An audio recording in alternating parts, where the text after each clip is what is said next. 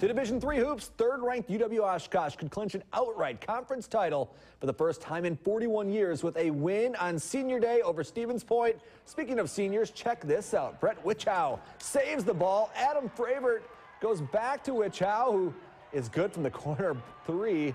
Titans with a 10-point lead.